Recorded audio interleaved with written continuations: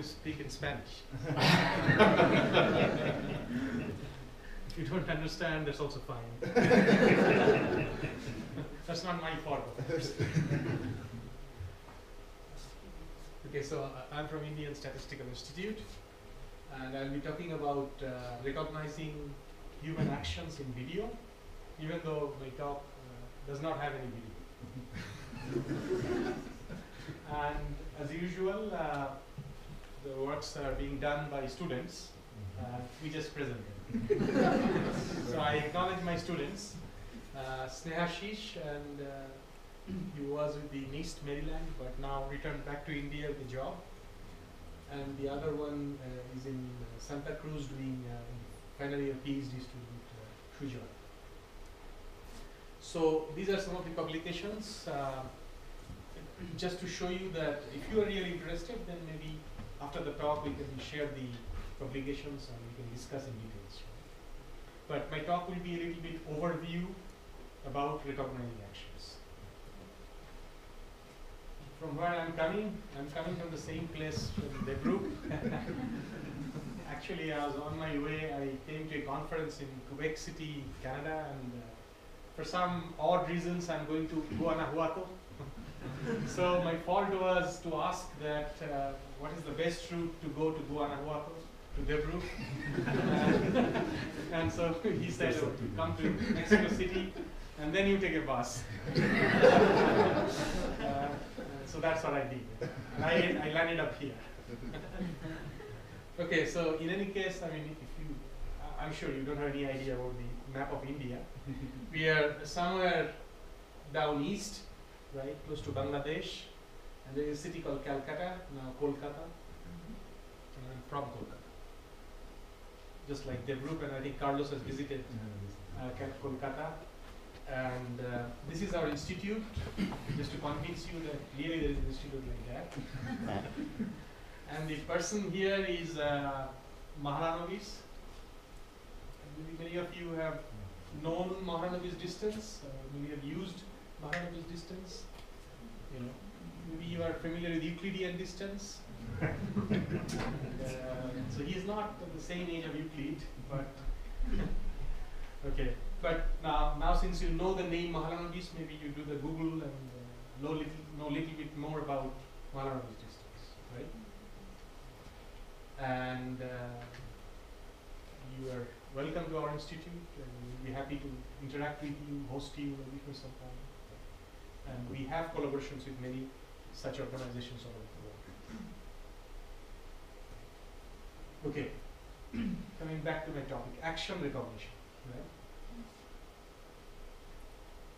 Right? so currently, uh, this is quite a big research topic, and uh, I was in this conference of uh, IEEE image processing, and there were at least uh, four or five sessions which were completely devoted on recognizing actions, either from static image using surveillance camera or a video image. So by action, typically I mean something like uh, this. So this is a discussion action. The question is, we give you this image, and your algorithm should come up with an answer that they are doing some discussion. Entering a room, right? Again, give the static image, and your algorithm should give us the answer that entering a room.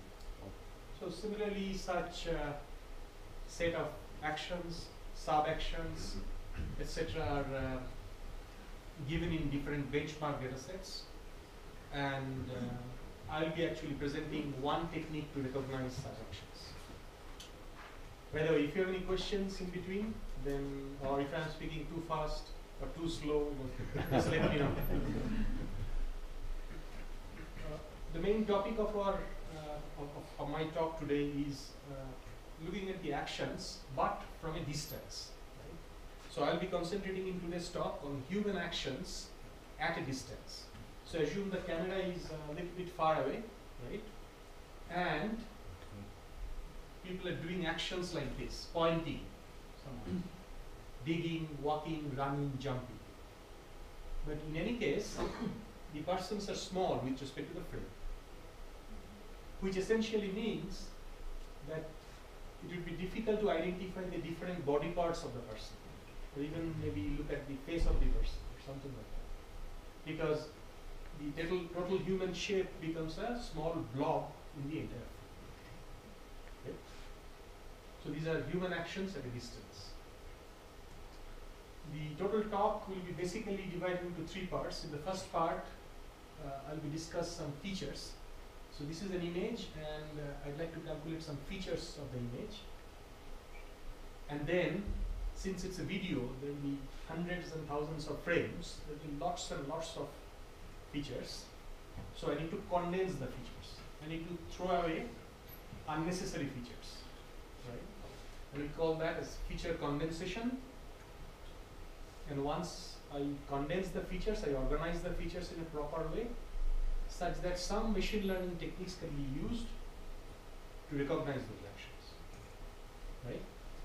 So my talk primarily uh, will have these three components. We'll start with the feature detection. So our contribution is basically, uh, if you look at that kind of static frame, can we find out some action descriptor? Maybe a vector, a bunch of numbers which represents that particular actions. Uh, I I also have another project uh, funded by Qualcomm where we are looking at uh, similar aspects but recognizing emotions on the face. So that you can combine both actions and emotions at some point of time. But, uh, but the problem here is a little bit different because the camera is far away and it's not possible to look at the finer details of the image. So, uh, what we did as our first contribution is to come up with a feature vector of the image, and um, that that's what we called as weighted optical flow. I'm sure probably you never heard of what is optical flow, so I'll just explain a little bit on how to calculate these things on an image. Uh, and, and typically an optical flow will look like this. It's a bunch of vectors actually, so directional vectors on an image. And what we're going to do is we're going to take this matrix of image with these vectors, multiply with the image gradient, and we'll get a weighted optical flow. And that, that is what is going to be our feature of the static frame.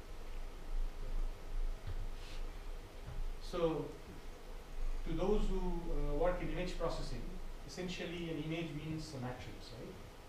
So that's a famous image probably you've seen the Lena, Lena Soderberg in sometimes in 1960s. And she was in, she came to the Quebec city from Sweden. Hmm. She is now around 76 years old, I think. Uh, that's very nice. Incidentally, this picture was uh, first taken from Playboy magazine. Hmm. Okay, so an image essentially they're a matrix, right? So, so in this case, in example, like we have these one, five rows and maybe ten columns. So any image to me is a matrix, and matrix contains certain numbers, and the numbers are typically between Zero. zero to two fifty-five. Uh-huh. It's given that it's an 8-bit representation. but not necessarily it has to be 0 to 255, it could be something else as well. But for our understanding here, we'll consider that all the numbers will be between 0 to 255. Hmm. if you would like to calculate the gradient of this matrix, essentially what we do is we calculate the horizontal differences between the pixels. And if you are to calculate the vertical edge or vertical gradient then we find out the differences along the vertical direction right? So for example 5 and 8 I get a magnitude 3 and similarly like 12 178 I get the magnitude around x and y. So by image gradient what I mean is if you give me a matrix like this you end up with a vector where each point has got x difference and y difference right? And every point I could actually calculate the gradient of those numbers and the direction of the numbers. So that gives me a direction vector at every point right so that's what this image looks like so if you give me this image I can calculate the gradient and I can plot those gradients which is an oriented vector right is Everything okay? Now let's see how we calculate the optic flow. Optic flow is almost the same thing, not exactly, but almost the same thing, but we are taking the gradient along temporal direction, along the time direction. Hmm. right? So typically a video will have 30 frames per second, right? So in between two frames, what is the gradient, right? If you try to answer that question, uh, basically, I mean, which essentially means in a matrix, if I have a point, uh, if I have a point i x y at the nth time frame, nth time, that maybe at n minus one-th time the point is somewhere there, was somewhere there? So the point has actually flown or moved from this particular position to this position, and that's what we call as an optic flow of the vector. So if somebody is moving the hand over the frames, so I can actually point out to the direction along which the hand is actually you know, driven or that gives me an optical flow. So that's what is this bunch of vectors. Now if you combine these two pointwise, right, or uh, in mathematicians they call it Hadamard product of these two matrices. Uh, oops.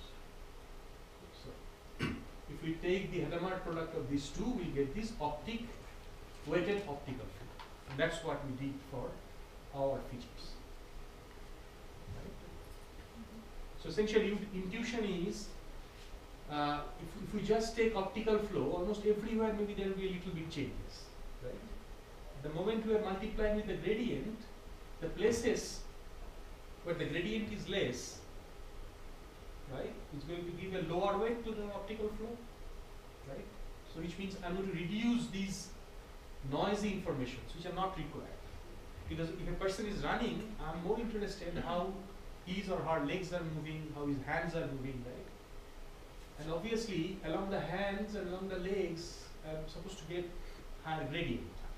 So if I multiply these two in a certain weighted fashion, then essentially I should get a better feature. That's what is our basic uh, premise in this feature descriptor. We worked uh, these similar kind of features for um, other areas. For example, uh, as I said, that uh, work in emotion recognition as well. For example, uh, how to track the lip movements.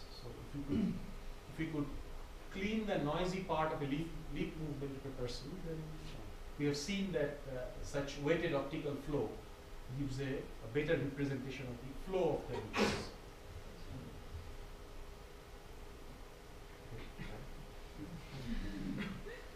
Okay, so now what we can do, we can actually draw a histogram, a histogram of these oriented direction vectors. So essentially at every point, if this is my feature vector, we have a direction vector which is multiplication of the optical flow and the gradient, right? Now you know that direction vectors are oriented at certain mm. angles, so I can actually quantize this process. I can find out the orientations of these vectors in such a way that either the vector is within 0 to 45 degree or 45 to 90 degree or 90 to 135 degree, right? So any direction vector that you give me, I can quantize that, right? I can group that or I can cluster that into any one of these eight quadrants. Right? Therefore, what I can do is I can draw a histogram of eight beams. And looking at every vector, I count the histograms or the frequencies in individual beats. So therefore,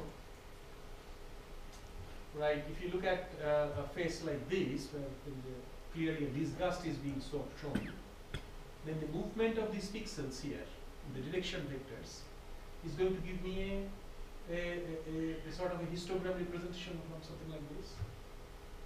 Right? Like, is everybody following that or is it Spanish? okay, so again, if somebody is like uh, moving the lip, right, then what I'm going to do is I'm going to look at the uh, the vectors in and around the lip and I'll, I'll, I'll draw a histogram of the orientations of those detection vectors. And that orientations will nothing but increasing the counter of any one of these eight beats. And that's going to give me a oriented histogram, sorry, not oriented, histogram of oriented vectors. These are popularly known as the HOG vectors of a, of a feature. So therefore, if, if it's a large image, if, if the frame is looking at, let's say, uh, quite a bit of area, I can divide the entire image into smaller blocks. And for each such blocks, looking at the oriented vectors, I can draw the histograms. And once I have these local informations, I can concatenate. I can put all the histograms one after the other, and I can form a large, huge vector. Right? And that's what is this large histogram look like. So in this case, like I have partitioned the image into 64 blocks. For each block, I have an 8 bin histogram. Right? So therefore, 64 into 8 long vectors is what represents this entire expression of a one particular frame.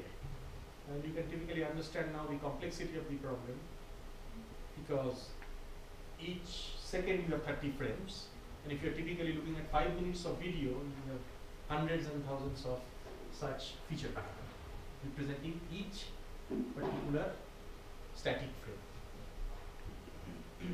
so again given our problem we have not only taken the the details like small blocks we have also taken this histogram for the entire frame then again dividing the frame into four blocks so I have four histograms and dividing this image into 16 blocks so I have 16 histograms. And then concatenate all of these together one after the other all the histograms. Then I'll have 1 plus 4 plus 16 right, into 8 so 21 into 8 which is 168 long feature vector. Mm-hmm. So the advantage is I could, like our premise is, we could capture the local information. We should be also hmm. able to capture the global information. Mm-hmm. So globally, how the leg or the hand is moving may be captured here, mm-hmm. and finer details of the static frame, how it is changing, that may be captured in, in this box. Mm-hmm. Okay. So these are what we call as, the, as action descriptor. For each frame, I'm going to have one such action descriptor. And now you know that uh, this is a this is a, a, huge task to process. And the next topic, of course, then will be how can I condense or throw away some of these information so that we have only a condensed set of features. One uh, simple way to do that is to just do a clustering. Right? Probably many of you have some idea about clustering. Right. In this case, maybe if I say that there are three clusters, then we try to find out three representative centers of the cluster.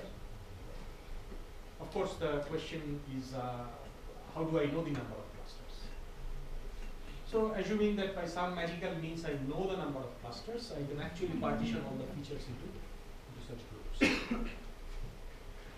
Uh, there are certain drawbacks, uh, well, advantages and disadvantages as well, but uh, we have used a little bit different technique, which is uh, we have used the help of a KD tree, right? And we will call these as a max diff KD tree. I'll explain that. And one of the reasons, of course, to publish the paper. You know, right? If you just write clustering and uh, try to publish a paper, it won't get published. Everyone knows it. If everyone understands it, then the paper is not going to be published. So just to make it much a little more complicated, I think many of many of you probably agree with me.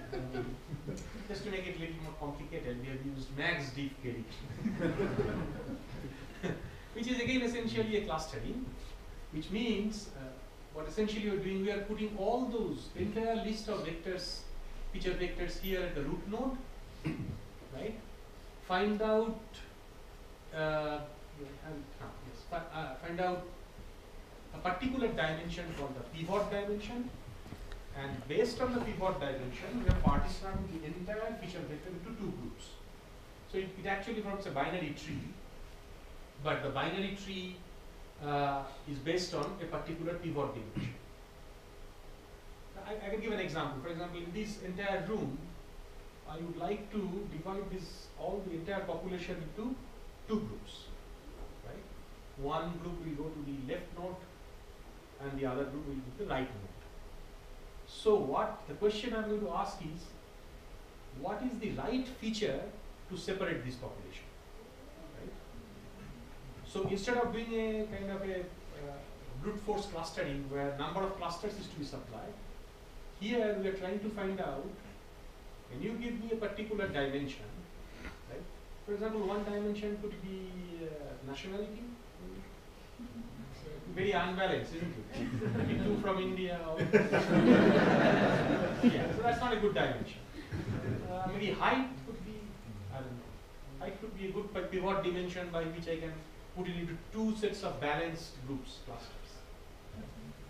Okay, so finding finding the pivot dimension is also an art, so there is also a scope to publish here. But again, we didn't go into that details in this particular work. But assuming we can find a pivot dimension based on which we can divide this this entire feature vector into two groups, and then I can go on doing this kind of clustering up to a certain level, then we can form a KD tree of the feature vectors. And uh, after certain, after we move into certain level, from each and every leaf nodes, we take one representative sample, right? So what uh, basic point that we would like to say is that um, that such clustering, such kind of clustering based on an important pivot dimension may be a better clustering methods or condensation method compared to a brute force clustering approach. And uh, so therefore, if these are those leaf nodes of the KD tree, then from each leaf node, I'm going to take one representative feature so where is the condensation? The condensation, condensation is here. We start with the huge feature vectors at the root node, whereas when I pick up only one single representative feature vector at the leaf nodes, depending on the number of leaves, I get that many number of uh, feature vectors only. So I'm saying that these features, only these features represents this entire uh, entire feature vector for a particular video sequence. So you can understand that uh, this will be uh, for each pose. So if there is a running action, there will be a running uh, a set of uh, set of leaf nodes for running, set of leaf nodes for walking, set of leaf nodes for jumping, pointing, etc. etc. And these leaf nodes we call a code book, or rather we call condensed code book. Mm-hmm. So from a raw feature vector, we now come down to condensed code book. From the condensed code book, now we're going to compact code book. So there is two level of compression basically. Raw feature vector, condensed it based on pivot, pivot dim- dimension and KD tree, and then from this I'm going to go to a compact code book. Okay, what is the motivation of compact code book? the motivation is as follows. While finding out those, uh, while finding out those uh, results of the of the condensed code book, we have seen that some of the poses are really ambiguous. I mean, it's not really representing the particular action. Uh, and also, it's a, uh standard trick of acad- academicians. You first publish a paper with uh, the condensed code book, and you show that you get 78% result. Then you see why it is 78%. Maybe you can improve 2% more if you say that you do a compact code book, and we do a compact code book. Uh, but if I show you the result, you can see that these are the poses. This kind of poses what we call as the ambiguous poses. For example, by looking at these two, it's very difficult to differentiate or difficult to understand whether this guy is uh, jumping or part of the running cycle. And so in this case also is running or walking. So we will call these are the ambiguous poses. So our intention is from going from the condensed to compact is to throw away such ambiguous poses. Maybe these ambiguous poses are good and maybe it's going to give certain information in particular cases. However, in our case, we decided to find out all such ambiguous poses and throw them, completely throw them away. We do not want advantage out of that and we also do not want them to pose problem in the next uh, part of the uh, learning cycle. So how do we do these uh, removal of ambiguous poses? For example, this is, you know, it, it, it says a meaningful poses in the sense, by looking at this, I can clearly say that this is a running sequence, part of a running sequence, whereas this is part of a walking sequence. By the way, these are uh, part of tower data sets. Uh, tower data sets is from the UT Austin. So we have a tower in the UT Austin. From there, they have taken the camera and uh, pictured the different actions at the ground level. And any research in this area, uh, the algorithm has to be run on the benchmark data sets. It's always advisable that you get hold of a set of benchmark data sets and run your algorithm in that. So there's no value of these algorithms if you prove that it's giving 90% results in your own private data sets. So these are star data sets and these are part of uh, SOCAR data sets. Uh, I don't exactly remember from which university, but that's also very benchmark data sets. Okay, so what now we did is, so remember those uh, features taken from the leaf nodes of the KD tree. Okay. So we're going to form a graph using those those leaf nodes. So the features at the leaf nodes becomes the node of a graph. So how the graphs are formed? So these are video. So there is a time scale. So along the time axis, you are getting each one after other KD tree. From each KD tree, you will get those leaf nodes, and these leaf nodes go on forming a pose graph. Okay. So the features in the leaf node is forming the pose graph in a temporal action cycle. So we have assumed here that there is a specific three seconds assumption. so whatever action you do, our assumption is within three seconds the action is getting repeated. So if somebody is jumping, so it's moving up, going down, the entire thing happens within three seconds. That's our assumption. So if somebody is walking, left leg up, then right leg, then again left leg. So this sequence, this cycle, there is a repetitive behavior and that happens always within three seconds. So this pose graph actually represents a, not this one, this is just a visualization, but all the pose graphs that we have used in our algorithms is a pose graph of three seconds video extracted from the features of the leaf nodes. Now what these pose graphs can give us, it give us these nodes which represents actually a, a set of features identifying that action. Now, uh, so there is an action cycle. That's what I said is a three three seconds action action cycle. So what happens is our basic uh, assumption here is each action is repetitive in nature. So whatever you do after a certain period of time, the same thing is going to come back. So if you go on actually building this pose graph on a temporal cycle every three seconds, then some of these nodes which are very central to the graph, right, will be highly repetitive in nature because this will be repeated. so I've said left leg, then right leg, then again left leg. Now this sequence of left, right, left, this will be quite central to the of the graph. That's what is our assumption is. Unfortunately, in graph theory, there are uh, uh, many such measures to find out what are the what are the nodes which are central to the graph. These are called the centrality measure of the graph, or which are the nodes which are at the periphery of the graph. These are called the eccentricity measure of the of the graph. Right? So, by looking at such a graph, come, come back to the papers. Anyway, so by looking at the graph, what we can say is that there are some features or some nodes representing certain features which is very central to the graph and there are certain features which are always at the periphery. these are kind of ambiguous or these are outliers for that action. Right? So if there is a regular walking, such features will always come central to the graph. And if somebody has a specific particular behavior that uh, maybe one one of his or her hand doesn't move in the rhythm of the walking cycle, then that should go in the periphery because that won't be repeated very regularly, regular, regular nature, right? So by looking at which are the nodes at the central and which are at the periphery, we can actually characterize the particular action.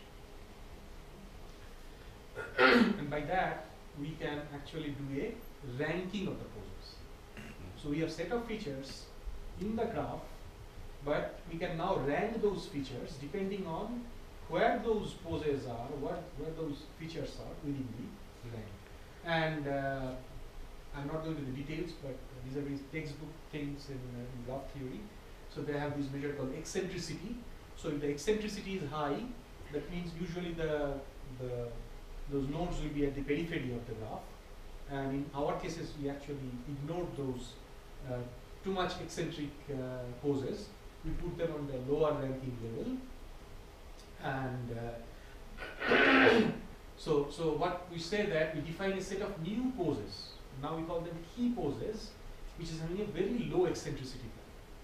So the poses which are very having a low eccentricity value are central to the graph, has got a higher centrality measure, and we'll call, call that as the key poses.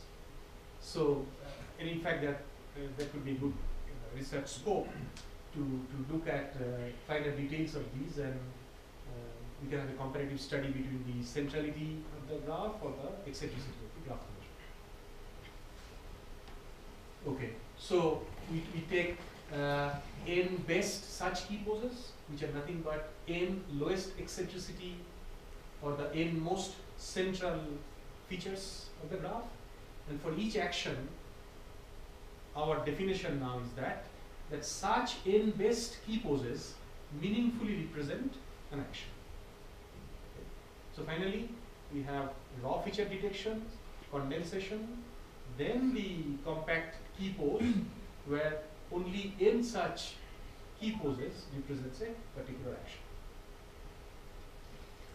So overall, therefore, you give me a sequence of running, I'll come up with you know four, five, six, n depending on my choice of n set of features which are central to that graph and are the key poses of that particular action. Then once the condensed and compact features are there, we'll, we'll organize those features. And to do that, uh, we take the help of very standard uh, bag of words model, which are very popular in the uh, in, um, in, in the community, particularly in of searching, and um, which are you can consider these as that there is a dictionary, and each of these are documents. Documents contains words, right? And as soon as we look at the words, we actually look at the come back to the dictionary, see the details of that words, right? And any new word that is coming in to the system can be recognized based on learning the dictionary. So instead of actually looking at all those key poses, we form a dictionary of the key poses. So we map the bag of words model as a bag of poses model. So assume these are my key poses and these key poses are words now we create a dictionary of all these words and have to learn this dictionary. To learn the dictionary, so, so that's what I just said. The words are poses in this case, and we are looking at the, the compact code book. So, and then in the learning, we have used a very standard uh, support vector machine model. In the support vector machine model, uh, therefore, uh, we first map the training action video data to the condensed compact action descriptors. So therefore these condensed compact action descriptors are stored in the dictionary. So we basically learn the dictionary and we can uh, think this way that we have set of key poses right defined by the eccentricity of the graph. You take a training video sequence, find out the same set of features exactly the way I discussed and then map those features to any one of the key poses. Now there is a small trick here. So which means you give me a video, I calculate the features and I find out the feature or, or rather I find out the key pose which is closest to that particular feature. So there has to be a, it's a problem of again a distance measure that is required between the key poses and the feature that you are calculating. Now there are different models of such uh, distance measures available. One is of course the traditional model where you just take the Euclidean distance. So essentially what you are looking at is a bunch of numbers. So from these vector we are getting a large feature vector and we are saying that this large feature vector is close to the maybe the red key we can calculate a distance. However, there is a dimensionality problem. The dimension of the key pose may not be same as the dimension of these particular uh, raw feature that I'm extracting. so therefore, uh, again, there are other models. There are kernel models, possibility models, uncertainty models, where they are actually weighted this distance measure in a little bit different way. Few tricks are available. There's a very good paper on in PAMI 2010 on such mapping. So the paper is actually how do you find out the distance of a feature vector from a standard set of dictionary.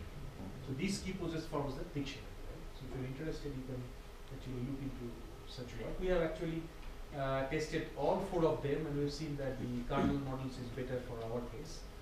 So kernel model essentially looks at uh, this feature, the closest feature, and then also also it gives weight to key poses close to the, closest one. So not only it is taking the closest feature, but also looking at uh, the features at the periphery of the key poses. Okay, so therefore, I have these features detected, I have the key poses ready. By these uh, by these models, I map each of these feature to one of the key poses, and again form a histogram. So if you give me one unknown video of a particular action, I will extract features from them and map those features to a histogram of key poses. Okay? So if I'm training, if I'm training a running sequence, so what I'm going to do, so I'm going to take three persons. Each person is going to do running three times in a different fashion. So I'll have total nine data sets. So nine video. Each person repeating running three times. Okay. Three such persons. So I have nine video data sets. So these nine video, I'll have nine set of features. Each of those nine features will be mapped to a histogram of the key poses. Therefore, the running is essentially again represented as a histogram of key poses. And while running the support vector machine, I'm going to run, I'm going to learn these particular histograms. So that's what we do in the next step. Once the histograms are there, so I'll have a histogram for running, a histogram for jumping, histogram for digging, histogram for pointing, right? And all these are coming from the training data sets. And SVM will be learned, SVM probably all of you know are essentially a binary classifier. So therefore we need a, mm, uh, we, I mean these are very standard procedure to map. So in, in this particular problem we are not looking at a binary classifier, we are actually looking at multiple classes, right? Mm -hmm. Typically 10 to 15 classes. So mm -hmm. again there are very standard procedure to map uh, SVM for uh, multi-classes. We have taken advantage of that and be testing uh, on, on unknown sequences. So uh, we tested both the linear SVM and using the RBF kernel, use the standard cross validations of the data sets, and, um, and, and typically the results look like this. So these are some of the competing methods. In most of the cases, ours are marginally better. Now, uh, the question is, uh, maybe all of these comparisons are not fair because uh, in many cases, in, in, in the entire pipeline, there are many parameters, and the choice of parameters for such competing methods uh, may not be exactly known to us. So when we publish papers, we do not give all the parameter values, right? So to the best of our ability, and uh, of course our intention is to make others value lower, so that the paper get published. So we are marginally better in, in this particular. scenario. so these are uh, so, so the important question is uh, how many people. If you remember, uh, we said that poses are represented in a pose graph, and n-best pose graph, a- n-best nodes which are central to the graph, are relevant for a particular action. So we are saying that if there is a repetitive cycle, something will always get repeated. And those are the those are the important thing by which you understand that action. The question is how many such central uh, poses, central pose uh, nodes are important. So we did a empirical analysis of that. We plotted the number of key poses versus the accuracy, and and we saw that what would be the base 10 that uh, satisfies our. But then again, we didn't have any closed form solution to answer this question. What is the best 10 for, for the pose graph? We extended this work for interactions also. These kind of data sets are also available. So when, when two persons are interacting, there are also data sets now with multiple persons interacting. So, uh, so one of our students has done that. So instead of one dictionary, we are actually extending this problem to two dictionaries. And um, and basically learning instead of one dictionary, it is two dictionaries. And then we actually we call it as the instead of key poses, we are now saying key pose doublet. So there is an interaction graph we can we can actually construct. So I'm not going into the details. We have a publication on that also. So where we can generate graphs and we can just like a key pose we have or central to the graph uh, measure we have done. In this case, can we find out a pair of poses which are very central to the interactions? And that is going to you know, probably describe a particular interaction. So these are the, results of that. Uh, these are this is a paper that I'm, I was presenting in the in the IEEE conference in Quebec City, and on the Kinect datasets actually. So uh, Kinect datasets um, gives a skeleton data as well, right? Kinect the Xbox products. Now the motivation comes from the fact that in this case you can recognize the action without actually identifying the person. right? So so these are called uh, privacy preserving action information. And in many applications, for example, elderly healthcare now is a buzzword. Um, so in, in elderly healthcare, it's important to, to to actually recognize these actions, but without compromising the identity of the person. so our work uh, in this particular conference related to that. Uh, I have also collaborated on uh, a particular work on recognizing actions not for humans but for larvae. So this is a Drosophila larvae. We have a paper in a workshop in SPS uh, Signal Processing Society workshop on that. To start with, it's a biology group uh, and, and the electrical engineering group in uh, University of Virginia. So they study actually the behavior of these uh, movement patterns of the Drosophila. So if you put the larvae in a petri dish, right? They germinate and they actually move and flow away, right? So these interaction patterns, biologists are interested. So we thought maybe some action recognition on that uh, front would be of interest to us. so finally, conclusion then, I mean, I think what we intend to do is uh, generate a new kind of pose descriptors which uses uh, instead of clustering, a KD tree based uh, clustering, where we are always looking for a good dimension, a pivot dimension that can separate the, the, the feature population. The other thing is, uh, of course, we do the action recognition based on few key poses. So therefore, that is also a part of novel pose descriptors. We could say that if it is a repetitive pattern, then there are some particular sub-action, action legs you can call, which represents or characterizes the actions. And I think we have a technique to identify or characterize those key poses, uh, which is the graph-based one. And um, we have, uh, it, it, it's not exactly what I presented here, but part of the work is, uh, there's an important question that, okay, you say these are eccentric, or these are very central to the graph. Now, there must be a threshold, right? That if the, if the value of the threshold is below this, it's central, above this, it is eccentric. So how can we estimate that threshold? So we have looked at uh, completely different angle how to estimate threshold and there is a very good theory if you are interested called meaningfulness theory. How meaningful the content of an image is. So it's a new way of looking at the problem. So if I give you a content of an image, uh, try to understand just like a human being that how meaningful the content is. Right? So here you have a measure. A very interesting answer to that question is uh, what they are saying that any action or any any content, any particular content of the image, if it is very rare, then it is abnormal. That's just basic theory. Now, can this be expressed in a probability term? Right? So, in, in an action, something happens very rarely. Right? Now, can we find out that very rare event? And that can give me a kind of a threshold value to say which are eccentric and which are centric.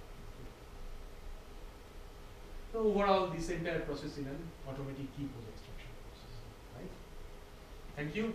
And if you have any questions, I will be glad to answer. Okay, thank you.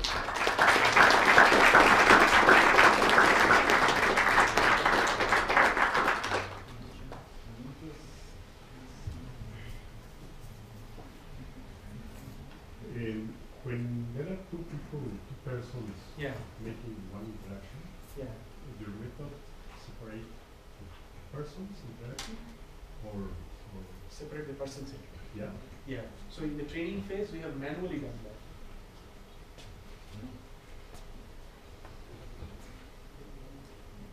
Yeah. So you see, we have done this box. So there is a person identification algorithm available. There is an algorithms available which does only the person. And when they are very close, very, No, if you have a person identify, I mean, it's a person tracker. okay, so you take the data first, annotate the data with the person. So person A, and annotate the data with person tracker. So these algorithms are available on, on now the, uh, most of them work 80 90 percent cases it will be fine. You won't get 100 percent accuracy, but at least for such scenarios, two person clean images, you can get almost 90 percent accuracy. Person tracker. When you find the graph, Yeah. How are edges defined? So edges are just the distances. Distances between the features. How do you do you define the distance? So I don't distance, feature between the vectors, Uh-huh, it's a bunch of numbers, right? right? So these features are, uh, so it's a, for example, uh, these are 168 dimensional features. In, in this case, this is a histogram. Is 168 dimensional feature. Mm-hmm. So the distance between the two nodes, but the distance between the two 168 dimensional features. So is a complete graph then? It's a complete graph. But the assumption is uh, the graph is uh, uh, three seconds video, I build one graph. Again, three seconds video, I build another. graph. Uh-huh. Because I'm assuming that within three seconds, if there is any repetitive pattern, that will show up within three seconds. But if the graph is complete, then all edges or vertices are at distance one, right? I don't get that. No, we The eccentricity is one, right? why eccentricity is one. If the graph is complete, This is a weighted graph. This is a weighted graph. A weighted graph. Yeah, and the weight is basically the distance between. Oh, I see, okay, okay, okay, so, yeah, thank you. But it's a debatable whether it's good to measure, uh, look at the centrality of eccentricity. Uh, there are papers where um, abnormal behaviors are tracked using the eccentric uh, values. So abnormal behaviors in action. Mhm. If like somebody is walking and just put the bag down and then so that's an abnormal behavior that should show up. And what happens if two simultaneous actions are happening? For example, like jumping and kicking. How how do you We didn't consider that. Yeah. but uh, look at another paper. but actually, uh, it's a good question. I didn't see any. I didn't see any uh, standard benchmark data sets like that. So somebody has to create the data set actually. Yeah, because unless there is a benchmark data sets, well acceptable data sets. So you are saying that uh, multiple actions are getting to. Yeah. Either the actions has to be, you know, how to divide the action, that's also, because how do you know the transition between the actions? That's the important question. Yeah, but I didn't see this kind of.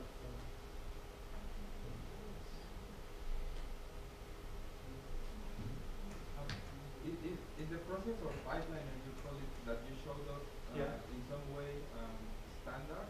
And if so, are there any standard dictionaries of key concepts? I mean, the pipeline means uh, overall is the feature detection. That's what I mean. Yeah, the whole thing that you that you that you said that you first uh, uh, divided the picture, then you get the tree, and then you get the features and so on. And there is a point in which you say that you get a dictionary of key. Uh, no, so first part was uh, reducing the data set, right? Yes. So what I mean is that this is the population. I divide into three groups, and from each group I will take one representative, one representative uh, person, right? So that's the first part by doing a KD tree. And in the second part, I'm looking at the temporal behavior. In the first part, I'm not looking at the time. When I'm doing the tree, there is no time. But when I'm creating the graph, there is a time because the, these these nodes, representative nodes, are coming in a time frame, a time cycle. So every three seconds, I'm creating now, them in the graph. So that's uh, that's not actually standard in the sense that um, there's not many papers in this area. Yeah, but then exactly I couldn't follow the question. Yeah, yeah. The thing is that I remember that you that you showed us uh, a Mm. slide in which you said that you will start creating a dictionary with yeah that that, that dictionary. yeah. Uh, my question is the creation of that dictionary in, in this let's say image processing. Mm.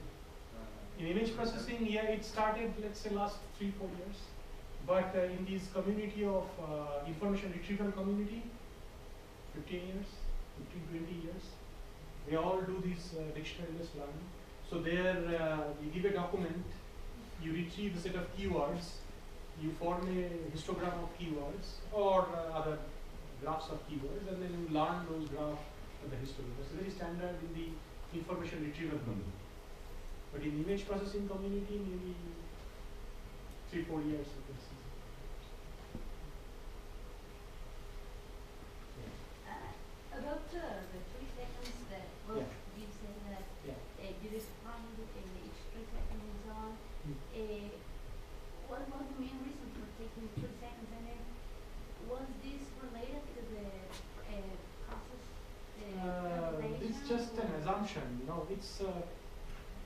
actually three seconds, 90 frames, right? So we, around 60 frames, we can see that something is getting repeated. And whatever the question of repetition comes within 60 frames, we can clearly see the repetition. But, uh, So, but, but it's an ad hoc measure, yes. But if we do not have something like that, we cannot form the graph. Because the graph captures the time information. Right? But if we, unless we have that, I don't know, there could be better way, but for the time being, to create the graph, the relationship between the features, we have to have a you know, time slice. That's one. So let's say you didn't something like a, um, optimization problem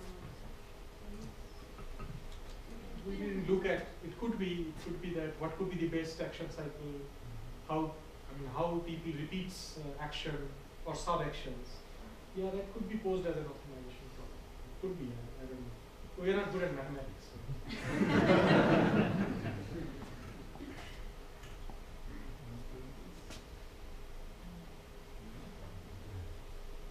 A small. Okay. Thanks for. Yeah. Thanks very much.